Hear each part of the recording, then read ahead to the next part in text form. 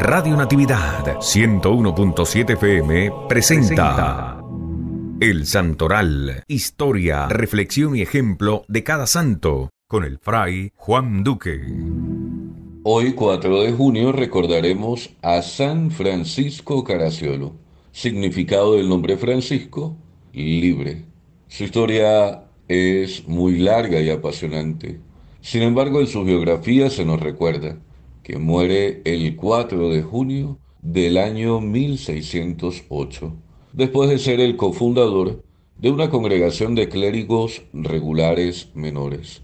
No nos queda la menor duda que esa alma libre fue conquistando también, en la sencillez y desde la humildad, almas generosas dedicadas al servicio de la Iglesia, que por intercesión de San Francisco Caraciolo sigan fundándose en el mundo institutos que ayuden a los fieles a hallar el verdadero mensaje de la fe.